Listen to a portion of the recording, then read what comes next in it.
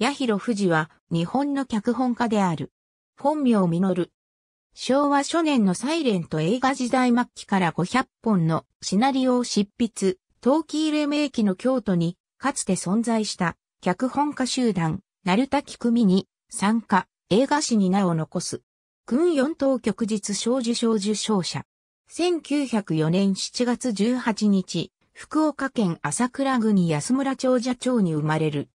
上京後、明治大学生経学部に入学するが中退する。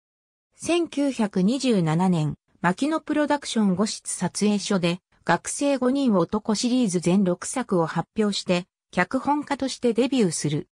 翌1928年、東京、巣鴨町の河合映画製作者に入社、わずか2年少々の間に脚本を量産35本が映画化された。1931年、京都に戻り、帝国キネマに移籍、同年の同社の新興キネマへの改装後も残留して、同京都撮影所で活躍した。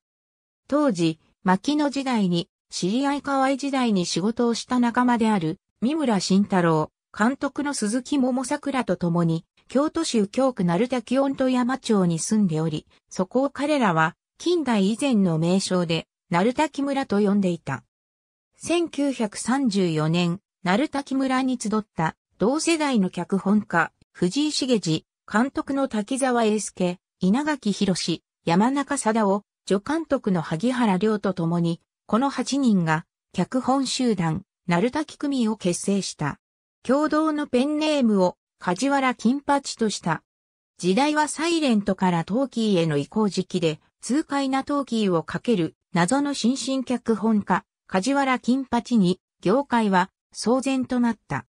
やがて、鳴滝組は、1937年の滝沢、山中の状況と、翌年の山中の戦死などがあって、活動を停止するが、22本の作品を残した。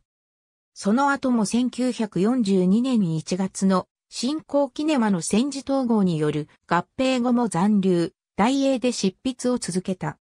戦後1947年に東横映画が設立されると、金色夜叉前後編を書き、1949年に牧野正宏が CAC を設立するとそちらにも協力。1950年代は東映京都撮影所作品にも多く書いたが、基本的には大英京都撮影所の作家であった。また、映画監督の伊藤大輔らと雑誌、時代映画を編集、発行した。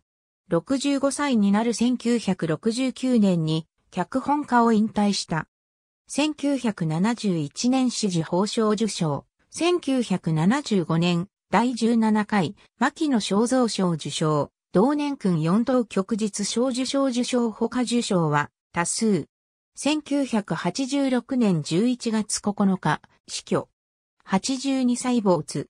ありがとうございます。